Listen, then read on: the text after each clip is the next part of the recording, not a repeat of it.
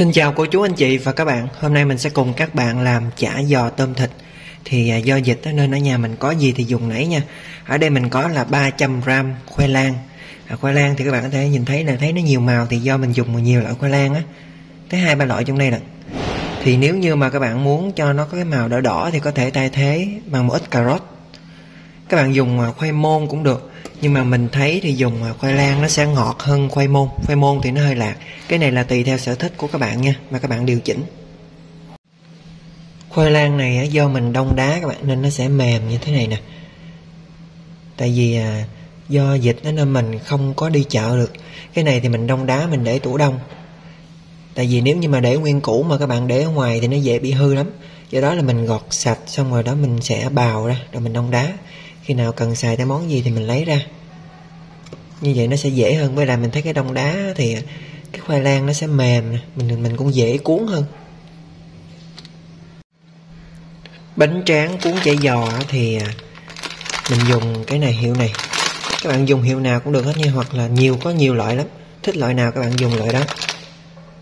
Một quả trứng gà 200 gram thịt heo xay ở đây thì mình dùng thịt nạc dăm ở nhà mình tự xay. Thì mình thấy thịt, dùng thịt nạc dăm nó sẽ ngon hơn tại nó có mỡ các bạn không thích mỡ thì dùng thịt nạc cũng được. 200 gram tôm hay tép gì cũng được hết nha. Thì cũng xay ra. Và nhớ thì đừng có xay nhuyễn quá để cho nó còn ờ, lợn cận nó sẽ ngon hơn. Tôm mà xay nhuyễn quá mình ăn nó không có còn cảm giác nữa. Một ít hành lá ngò rí. Về nguyên liệu chính của mình sẽ như thế này. Bây giờ mình sẽ cùng nhau bắt tay vào làm mình cho tất cả những nguyên liệu này vào hết nha. Hành lá ngò rí. Hành lá ngò rí mà nếu như các bạn muốn để lâu á, thì các bạn rửa sạch. Rồi các bạn phải để thật là ráo. Sau đó các bạn dùng giấy á, mình quấn nó lại để cho nó hút ẩm. Dùng giấy quấn lại sau đó cho vào một cái à, bọc cột kính lại. Thì cái giấy đó nó sẽ giúp à, hút ẩm nha. Tại vì nếu như mà mình không có cái à, giấy khăn giấy mình quấn ở ngoài á thì nó tươm ra cái nước nó sẽ làm dễ bị hư, hành lá với ngò rí. Mình thấy còn thêm có một cách nữa là cái à, hành lá người ta sẽ rửa sạch để ráo, sau đó người ta sẽ đông đá lại các bạn. Hành lá nếu như mà đông đá thì người ta sẽ cắt nhỏ nó ra nha, rồi ta mới đông đá nha các bạn. Phải để cho thật là ráo các bạn, mà để không ráo thì khi đông đá nó sẽ dính tùm lum. Mình sẽ dùng tiêu chín ngào đường không có tiêu chính ngào đường thì mình dùng à, tiêu hạt. Các bạn giả nhuyễn này mình cho vào. Mình à, cho vào đây một muỗng canh. Thì à, trong đây nó cũng đã có đường rồi, do đó mình sẽ không có nêm đường vào đây nha. Các bạn dùng tiêu hạt thì dùng khoảng nửa muỗng canh tiêu hoặc ít hơn, tiêu nhiều nhiều cho nó thơm. Với lại đường thì các bạn dùng khoảng một muỗng cà phê đường. Loại này thì người ta thông thường sẽ dùng để kho cá, kho thịt. Ướp đồ ăn nó rất là thơm. Trong đây nó cũng có à, đường, nước mắm này kia nên ta nấu rất là ngon. Mình có cho vào đây một quả trứng gà nó sẽ giúp cho giữ cái nước ngọt lại. Mình sẽ dùng thêm bột bắp nữa nha các bạn. Nó cũng sẽ có tác dụng là giữ cái chất ngọt này nó không có bị tươm nước ra khi mình chiên á. Một muỗng canh bột bắp. Một muỗng canh rưỡi nha các bạn. Thấy nó hơi ít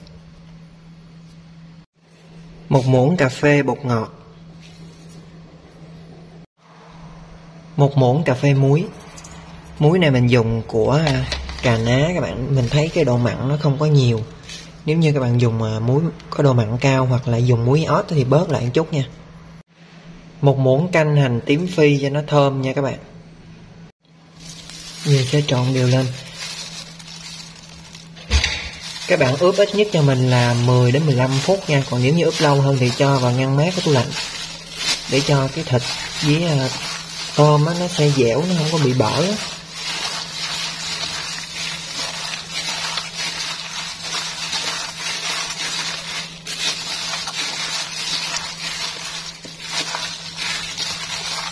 Thì à, nhân chả giò thì cơ bản nó sẽ chỉ có như vậy thôi ngoài ra thì các bạn ờ, thích cái nào thì có thể mình cho thêm vào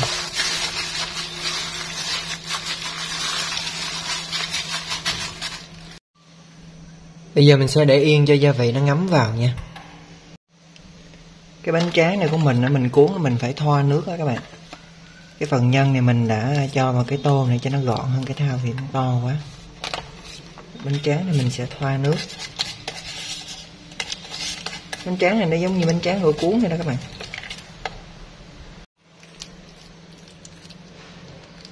Mình cho nhân lên. Cho cũng đừng có cho nhiều quá nha các bạn. Nhiều quá nó cũng khó cuốn, tại bánh tráng này của mình nó nhỏ.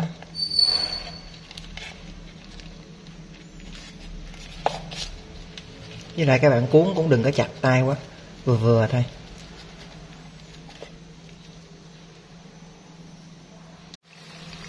Các bạn vừa cuốn vừa chiên cho nó nhanh. Với lại nếu như mà các bạn chiên cái loại bánh tráng như thế này thì các bạn cho vào lúc dầu nó ấm ấm tại khi mà các bạn để sôi già quá thì à, cái bánh tráng kiểu như nó rộp lên á.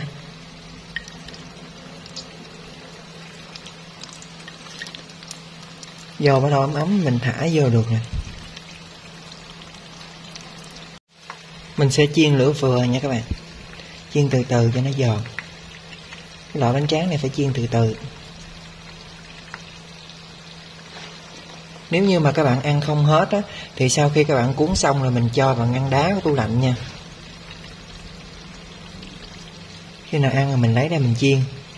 Lấy ra chiên luôn, không cần phải rã đông nữa nha các bạn.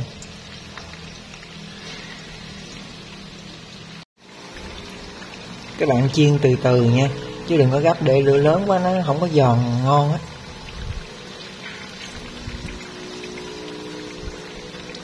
Cái loại bánh tráng này thì mình cũng dùng lần đầu tiên á nhưng mà mình thấy chiên cũng ờ, khá là ok các bạn. Cái này mình mua bách hóa xanh.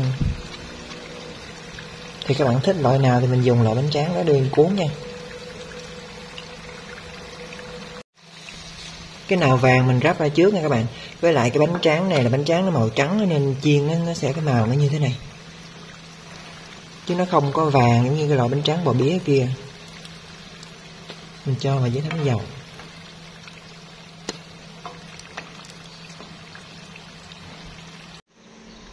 Mình sẽ ăn chung với bún rau sống và nước mắm chua ngọt. À, bún này mình cũng luộc từ bún khô các bạn.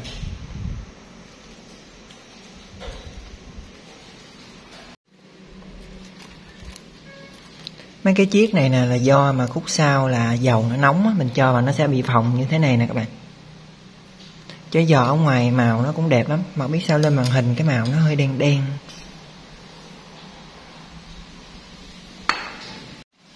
Hành tím phi. Mình chan nước mắm chua ngọt lên. Cái này do chả giò nó hơi nhỏ nên mình không có cắt ra các bạn. Mình thử nha.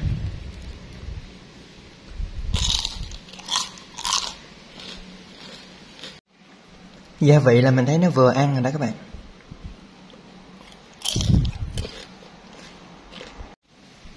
Phần nhân cũng rất là thơm nữa. Với món này thì mình xin chúc bạn sẽ làm thành công nha.